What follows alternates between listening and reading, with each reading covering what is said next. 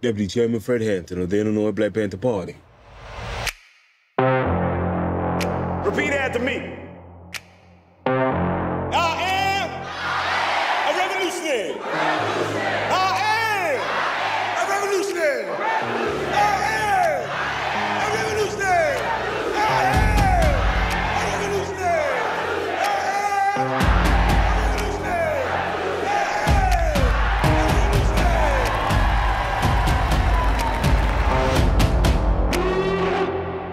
You're looking at 18 months for the stolen car, five years for impersonating a federal officer, or you can go home.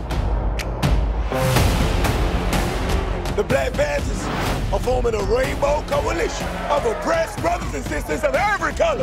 Their aim is to sow hatred and inspire terror. I will learn all that I can. These ain't no terrorists.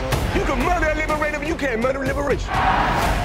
You can murder revolutionary, but you can't murder